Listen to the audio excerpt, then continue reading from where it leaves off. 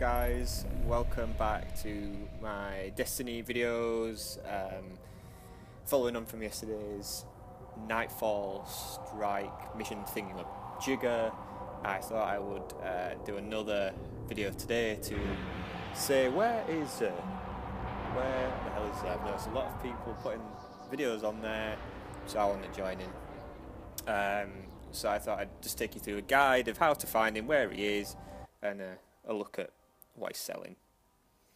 And um, yeah, I think this week is pretty cool. There's going to be a lot of people complaining, a lot of com- people whining on the Destiny forums as why is uh, selling this this week, why is uh, doing this, etc., etc.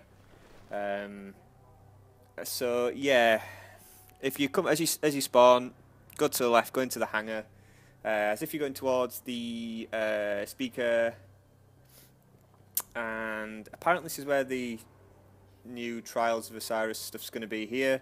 But he's there on the right. Uh, give him a bit of a wave. Hello, so what have you got for us this week? So I think we've had these, the Armamentarium for Titan, Chest of Alpha Lupi, and Void Fang Vestments, and then the last word. So this is what's going to be um, what's going to be the talking point of this week, and the, the crying and bitching on Destiny forums about why did uh, sell the last word. Um, other than the Hawk Moon, it's supposedly to be the better, one of the best hand cannons in the game. Uh, so I bought it, as you can see, and I'm going to level it up and see how it is. Uh, I've been using um, the W No recently, and I've really enjoyed the hand cannons. So I'm going to give it a try um, and level that up. Uh, so yeah, so there we have it. Uh, let me know if you're going to be buying it, what you think.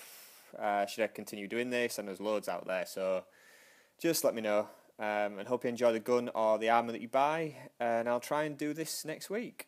So, Swifon, see you later. Bye.